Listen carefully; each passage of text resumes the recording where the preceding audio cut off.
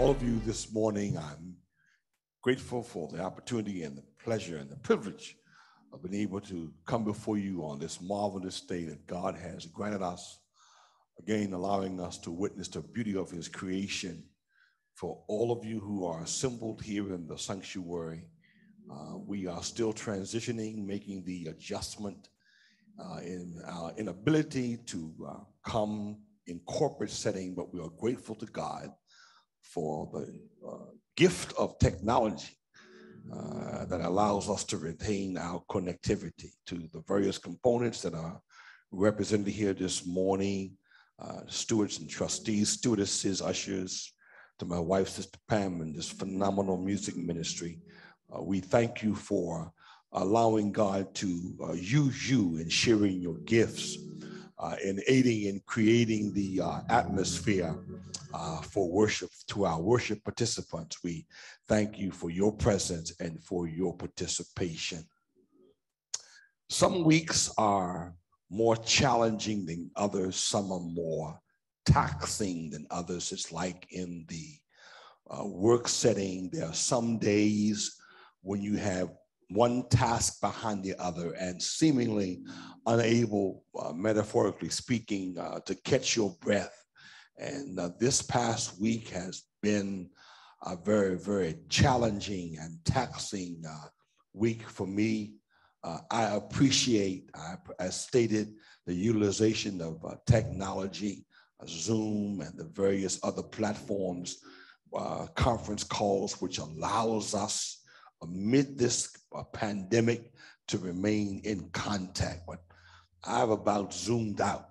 Um, I'm grateful. I'm, I'm, appreciative, and God knows it's it's needed.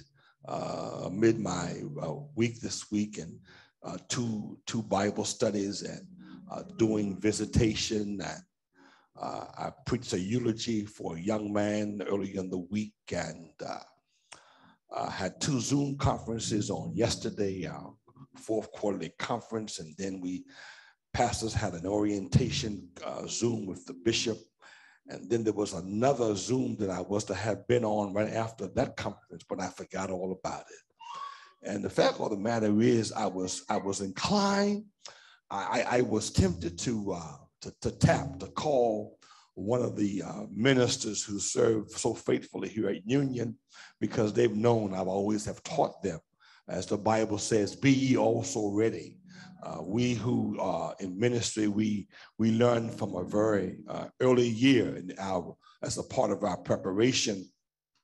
We were taught by the seasoned elders of the church uh, that a preacher should always keep a sermon ready because you never know when you might be called upon to preach. In fact, there was a time at the annual conference uh, when we were in session and when they would have uh, midday worship at the high noon hour at worship. And sometime the bishop would motion for one of the preachers in the conference, maybe 10 minutes before 12, and would say, You're going to preach at 12. But then, but then, like Jesus, uh, when Jesus was baptized by John the Baptist in the river of Jordan. The Bible says to us, King James, and afterwards he was compelled to go into the wilderness there to be tempted by Satan. And so I feel compelled uh, to come before you uh, this morning not standing on my own strength but standing on the power of God Almighty. Father, I stretch my hands to you. No other help I know. If you withdraw yourself from me, Lord, whither shall I go? Permit now, Lord, that the words of my mouth and meditations of my heart are found acceptable in your sight. Oh Lord, you are my rock and my redeemer. And the people of God said, Amen. My wife, whom I know is praying for me, sometimes I say to her, I said, Pray for me today. She said, I always pray for you. So I appreciate you praying for me today. This morning, I invite your uh, prayerful attention to uh, a book in the Bible, uh, the Gospel of John. And I know some of you keep a log of, of my sermons. And I know we're celebrating, as I said moments ago, we are giving focus to uh, Alzheimer's. So I don't think, I don't want you to think that I have dementia or Alzheimer's because I have preached from this text a few weeks ago. But uh, as a part of my morning devotion, in addition to us convening at the eight o'clock hour, wherein we, we, we try to create, as we've done here today, an atmosphere of worship and celebration with music, and we, we have prayer, uh, and uh, we, we have scripture read, and someone will uh, share words of encouragement or inspiration. In addition to that, in my personal devotion, I, I was inspired to, uh, to, to preach this, this sermon. Uh, it's taken from, as I said, John's Gospel, uh, chapter 17. And I want to read the first five verses and then uh, make reference to other verses contained in that chapter. John chapter 17, beginning at verse 1, we find these words. Jesus spoke these words lifted up his eyes to heaven and said, Father, the hour has come. Glorify your Son, that your Son may also glorify you. As you have given him authority over all flesh, that he should give eternal life to as many as you have given him. And this is the eternal life, that they may know you and own the only true God and Jesus Christ, whom you have sent. I have glorified you on earth. I have finished the work which you have given me to do.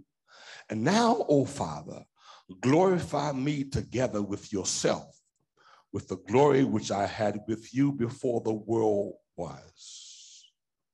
For a topic, for a thought, for which to preach this morning, I offer for your consideration say a little prayer for you. Say a little prayer for you. From, from our days as, as children, uh, we, were, we were taught by our, our family members, our parents and grandparents, about the importance of prayer, that uh, prayer ought to be an integral part of our lives, but that, that, that we shouldn't do anything without first praying to God and seeking God's guidance and seeking God's direction. We, we, we were taught that before you partook of one morsel of food, that you always pause and gave thanks in prayer. We were taught as children growing up that uh, the gospel as recorded by Matthew chapter 9 verses 9 to chapter 6 verses 9 through 13 and also in Luke uh, chapter 11 verses 2 through 4 which is a shorter version of what is contained in Matthew's gospel we were taught that that was the Lord's prayer. But in actuality the Lord's prayer is contained in John 17. John 17 is the Lord's Prayer. And you you you you will understand why. The, the, the, the, the prayer that was contained, that is contained in Matthew's gospel and Luke's gospel, when uh, the disciples on numerous times had observed Jesus in the posture of prayer, one day one of them asked him, Lord, teach us how to pray. And Jesus began to expound. He began to say, when you pray, you should say, Our Father, which art in heaven, etc., etc., etc. When we look at that prayer, that prayer is the model that we should use whenever we go to God in prayer. That we, we begin by giving God acknowledgement, that, that by adoration, we, we, we, we, we move forward and acknowledge a confession. The prayer in Matthew and Luke reminds us of the sovereignty and the supremacy of God. It is in Matthew and Luke wherein we are reminded of the importance that we ask God, that we petition God to forgive us of our mistakes, of our sins, of our transgressions, of our debts. And that's the conditional part, as we are likewise to forgive those who have trespassed against us. But in this 17th chapter of John's gospel, we, we find uh, uh, Jesus doing something, uh, uh, eh, eh, eh, you know, it, it, that is not recorded often in Scripture. Jesus was always in a posture of prayer, and and, and in his prayer, uh, it, it, it, of course, it allowed him the opportunity to commune with God. But more times than not, when Jesus praying was praying, he wasn't praying for himself but rather he was praying for others. But in this 17th chapter of John's gospel, Jesus is praying for himself. And, and, and, and he begins uh, his prayer by, by making a petition to his father. Uh, uh, this, beloved, you, you will note, uh, as we, uh, we are in the season of Lent, this was the most crucial period in the life of Jesus Christ. Soon he would be arrested and taken from judgment hall and judgment hall, and soon he would uh, stand before Pilate, and soon he would be compelled to carry his own cross to the place of the skull, Golgotha, we call it Calvary. Soon he would have a crown of thorns placed on his head. But now we, we see as Jesus is in the posture of prayer, he is articulating a petition to God. Here, Jesus, he, he, he tells his disciples. You know, he uh, it, they, they had already had what we call the Last Supper. He had told them that one of them was going to betray him and that he was going to leave them, but not leave them comfortless. Jesus is praying for himself. That's odd because there aren't many instances recorded in scripture where we find Jesus praying for himself. Beloved, this is important. It's significant in that it, it, it points out uh, uh, that if Jesus prayed for himself, then we ought to also pray for ourselves. Uh, oftentimes, particularly those of us who, who are in, in, in ministry, we are, we are, we are petitioned, we, we are request, we are, it is requested of us that we pray for this one and pray for that one. And that's a part of our calling. And we do it with a glad heart and with a willing spirit. But every now and then, when we go to God in prayer, we, we need to remember amidst of our praying for other folk, we got to pray for ourselves. That, that, that, there was a saying that was said in the earlier days of the church where people would say, You pray my strength in the Lord. Don't, don't, don't pray that I live long or that I die soon, but please pray for me, beloved. That's all right, but every now and then you got to pray for yourself.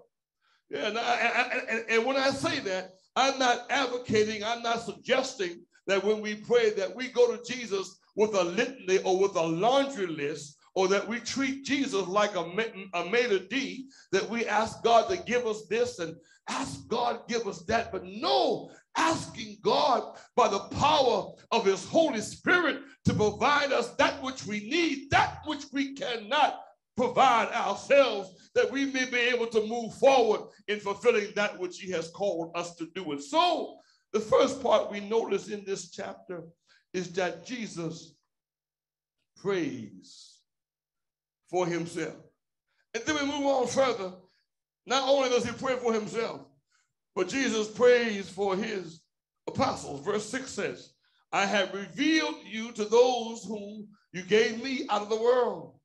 They were yours. You gave them to me, and they have obeyed your word. Now they know that everything you have given me comes from you. Jesus prayed for his apostles. These were those who had been trained by him and had been given leadership responsibilities, and it would be their charge, it would be their duty to continue on that which they had been taught by Christ. After praying for himself, Jesus prayed for others. Here, Jesus makes an expression of, of the importance of, of love between himself and his Father and the Holy Spirit. He, he, he admonished, he encouraged, he emphasized to his disciples that they love one another as God through Jesus loved them. He encouraged them to work in a spirit of oneness, a spirit of unity. Let there always be peace and harmony among yourself. Beloved, I'd like to believe that when Jesus was praying for his apostles, that he was also praying for you, and that he was praying for me, and that he was encouraging us to do the same thing that he had encouraged the 12 love ye one another. Work in to, work in unity. Work in a oneness of heart. So after jesus prayed for himself then he prayed for his apostles those whose task it would be to carry on after Jesus would have returned back to his Father. The text also tells us that Jesus finally, in this prayer, which is regarded as the longest prayer prayed by Jesus, it's called the priestly prayer. And, and, and, and, and Jesus is our high priest. He prayed for himself. He petitioned his father. He knew what he needed to have as he moved forward in the task that was before him. Then Jesus prayed for the 12 and asking them to remember the importance, the value of working in concert and exercising a spirit of oneness and unity. But third, Jesus then he prays for the church. Uh, and, and, and make no mistake in confusing the church with the church house.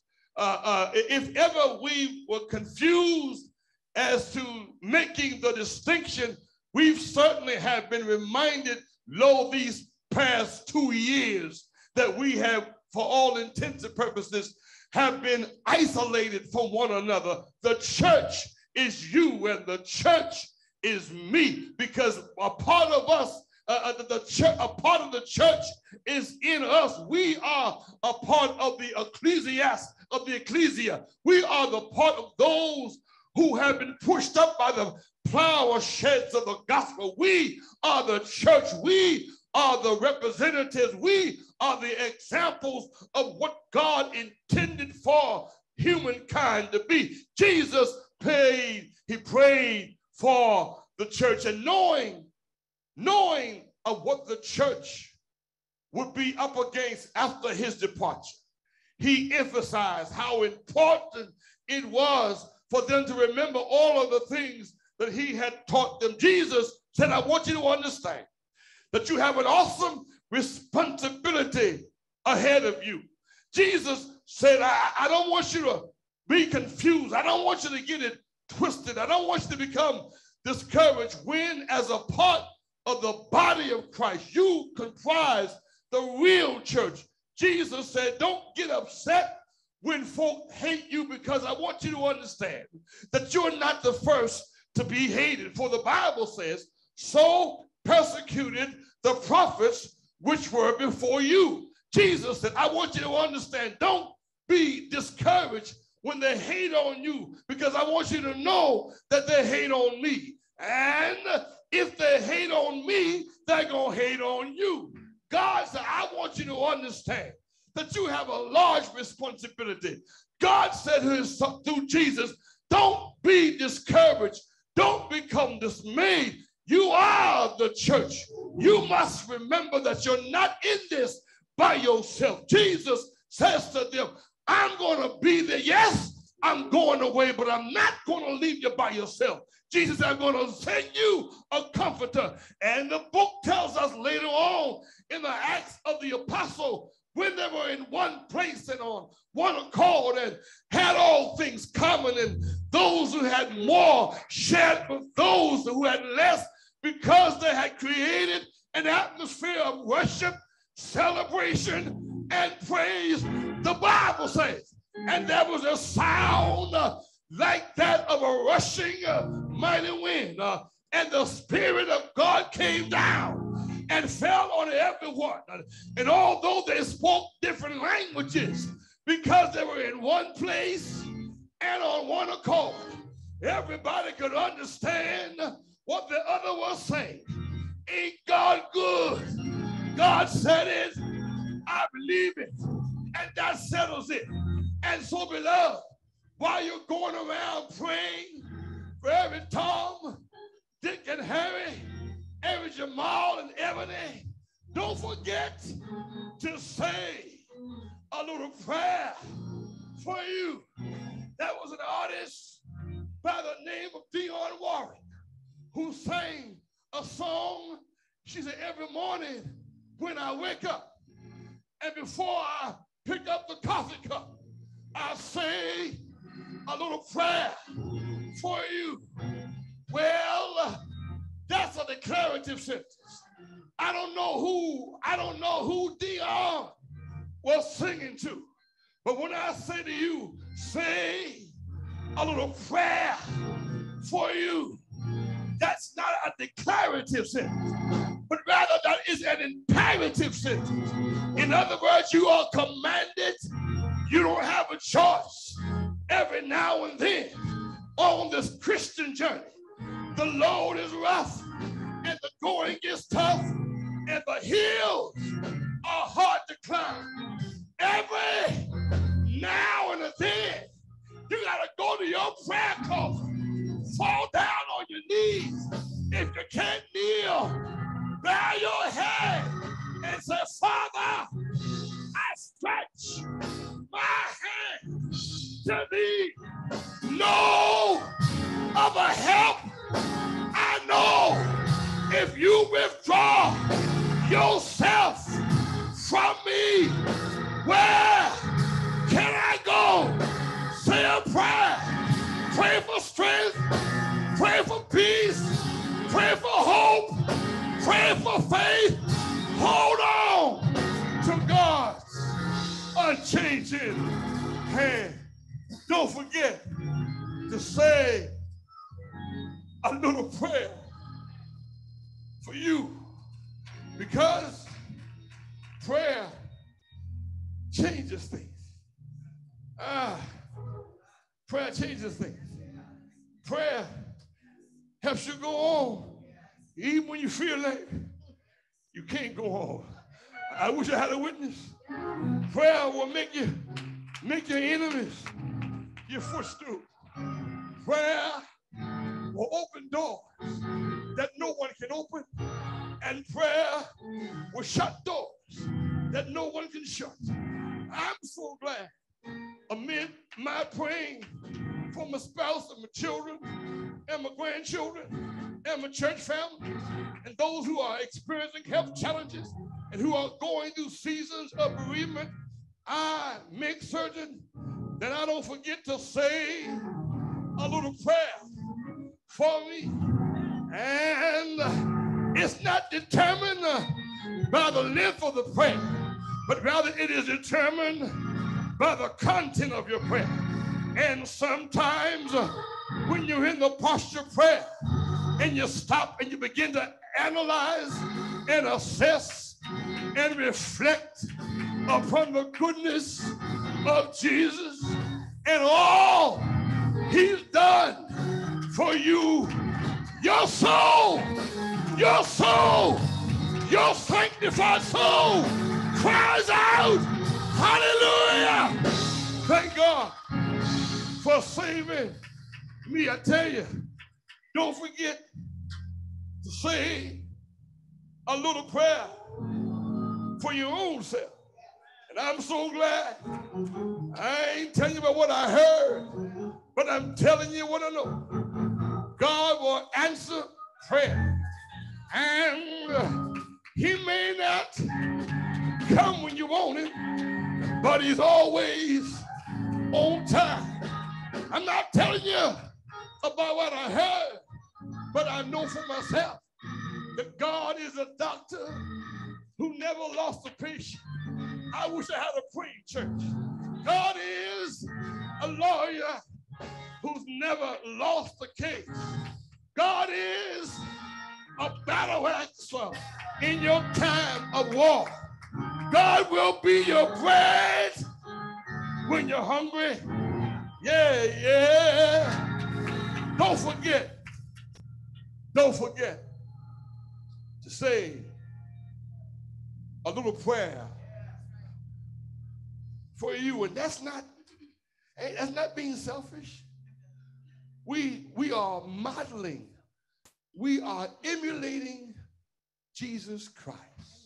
And so amidst your praying for this one and, and, and, and, and that one, please don't forget to say uh, uh, a little prayer. As I said, it's not predicated on length, but content. And, and, and sometimes it's just a mere phrase, help me, Lord. Because God knows the desires of our hearts. He knows what we stand in need of even before we form them in our mind. He knows. So don't forget to say a little prayer. For you, beloved, is that part in our worship experience, our worship service, where we extend the open door, the opportunity, the invitation to Christian discipleship. And, and one of the wonderful things about this invitation, all is that required of one is that you acknowledge that you're a sinner. And guess what? You're in good company because the Bible says, all have sinned and come short. None of us are as we should be. But thank God, we're not what we used to be. If you would believe, if you would confess and believe in your heart that God has raised him, Jesus, his son, his only begotten son from the dead, the Bible says, you shall be saved. My brother, my sister, if those words resonate in your spirit, dial 410 922 3286. Listen and follow the prompts. Someone will respond and walk you through the process of praying the prayer of salvation. And you will be saved. But then, secondly, maybe you're already saved and you're not a part of any church family. You have not united with any church fellowship. We extend the invitation for you to become a part of our church family, where our motto is that we are family and that we extend our total selves to you as we together strive to become deeper in our faith walk. Again, call 410 922 3286. Listen and follow the prompts someone will respond, walk you through the process. And we'd be happy, we'd be glad to have you as a part of our church family. That's my prayer. Jesus, my joy. Some folks, some folks, some folks would rather have houses and land. Some folks choose silver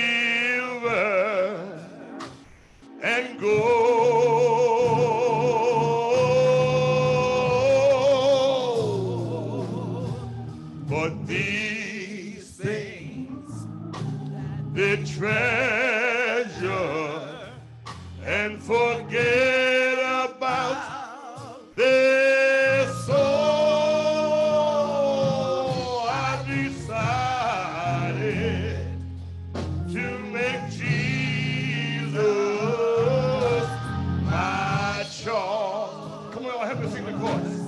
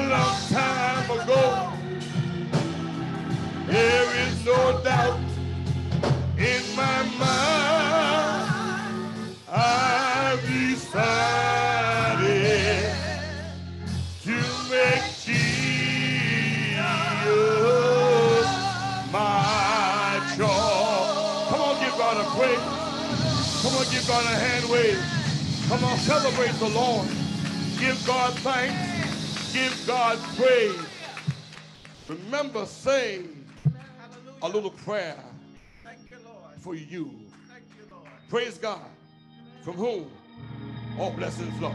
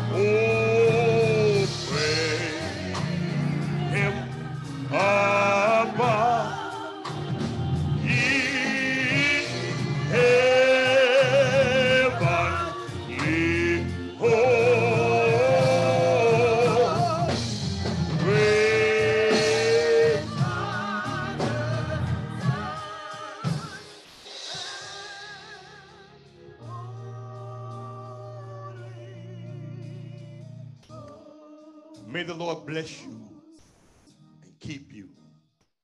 May the Lord be gracious unto you. May the Lord lift the light of his countenance upon you and give you grace, hope, peace, and joy today, tomorrow, and in the days to come. And remember, say a little prayer for you, henceforth now and forevermore.